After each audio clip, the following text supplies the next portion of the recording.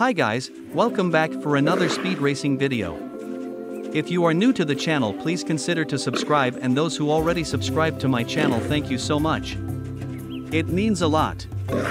So today's video, it's all about heavy animal speed races. And includes the following animals, Bactrian camel, blue wildebeest, Indian elephant, polar bear, and wild water buffalo. Let the race begin.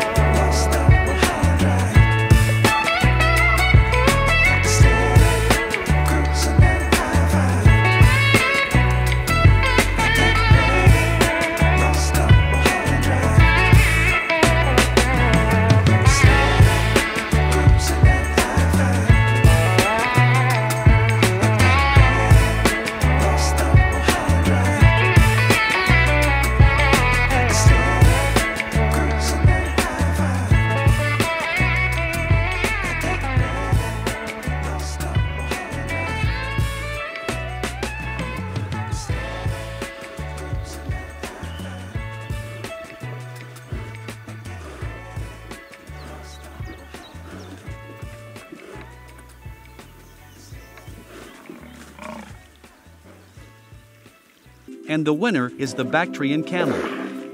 Domestic Bactrian camels, or Camelus bactrianus, are large ungulates native to Central Asia.